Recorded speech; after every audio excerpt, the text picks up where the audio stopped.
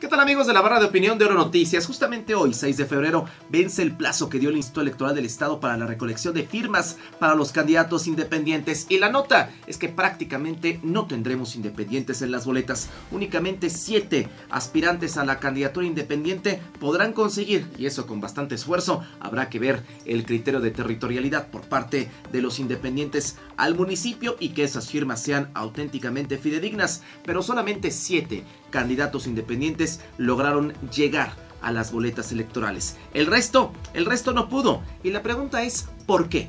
¿Por qué los candidatos, los candidatos eh, independientes no están pegando en Puebla? Muy sencillo, porque no hay liderazgos ciudadanos. Y si no hay liderazgos ciudadanos, eso también es un reflejo de los propios partidos políticos. El que más se acercó en ese cometido fue nada menos que Enrique Cárdenas. Él logró apenas, imagínese usted, y eso fue que se acercó el 5.8% de las 132.552 firmas que necesita. Lo que se les pide a los independientes es realmente escandaloso. Ni siquiera partidos como el PRD o otros partidos lograron en los últimos comicios estatales esa cantidad de votos en el Estado. Se le pide a un independiente lo que un partido con toda su estructura y con todas las prerrogativas difícilmente puede lograr a nivel estatal.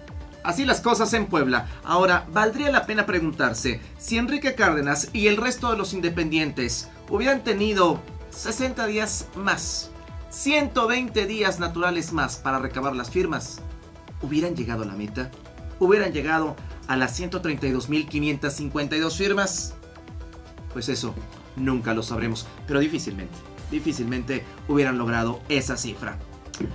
Le recuerdo escucharnos de 6 a 9 en punto, en punto de 6 a 9 en la 1170. Hasta la próxima.